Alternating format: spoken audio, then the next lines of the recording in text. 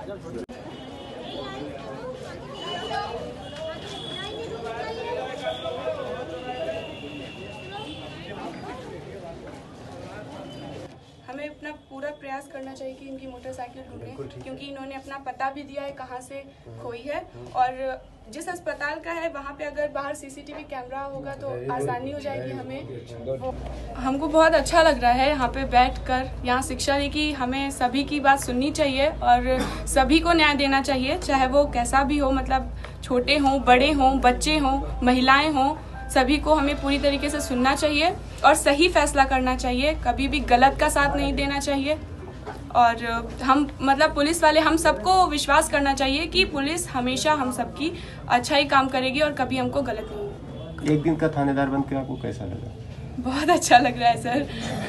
आ, बनना चाहते हैं पुलिस ऑफिसर ही बनना चाहते हैं सर। आज हरदोई के एक प्रसिद्ध स्कूल बेणी माधव जो है बहुत ही अच्छा स्कूल है। उसकी बच्चियाँ यहाँ पे आज आई थी थाना भ्रमण के लिए और इस आयोजन का पर्पस ये था कि बच्चियों के दिमाग में जो पुलिस के लिए एक एक शुभा, एक डर होता है, वो निकाला जाए। उनको थाने की कार्यप्रणाली से उनको वाकिफ़ कराया जाए। और जो भी इम्पोर्टेंट नंबर्स हैं, जो मददगार हेल्पलाइंस हैं, वो नंबर्स उनको चेक किया जाए, उनको याद है, नहीं है। और इसके बाद इनको थाने की कार्यप्रणाली का एक नमूना भी दिखाया गया, जिसमें दो बच्चियों को स्टेशन ऑफिसर की चेयर पे बिठा करके उन, उनको शिकायतों का निस्तारण करने का दायित्व दिया गया। तो उन्होंने बहुत अच्छे ढंग से बहुत ही सूझबूझ से उन शिकायतों का निस्तारण किया जो उस पर उन्होंने मार्क्स रिमार्क्स भी लिखे वो बहुत अच्छे लिखे।